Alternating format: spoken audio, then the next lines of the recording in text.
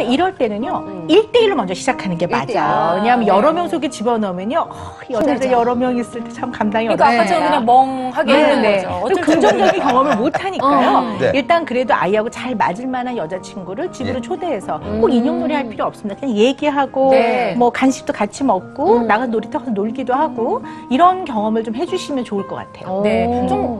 씩씩하고 네, 이런 네. 취향을 가지고 있는 여자애들 분명 찾으면 또 네, 있을 겁니다. 네, 그러니까 음, 너무 그게 걱정이 되신다면 그냥 한 발 한 발 이렇게 한번 시작해 보시는 것도 나쁘지 않을 것 같아요.